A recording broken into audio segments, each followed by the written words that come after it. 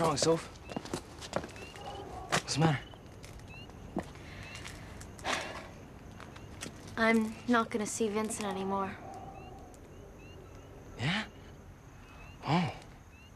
Look, Soph. This may not be the best time, you know, because you just broke up with him and everything. Uh, but, uh, I, I really like you. Really. Is that what you were trying to tell me today? That you're the guy for me? Uh-huh. That's affirmative. Well, in that case, I guess I have an admission to make too.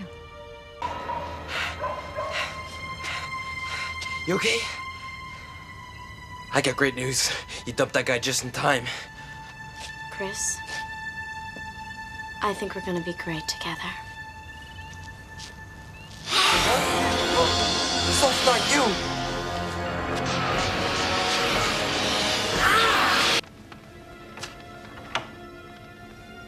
Well, well, well, what have we here?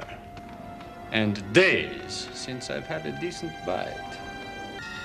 There'll be no need for that, Master.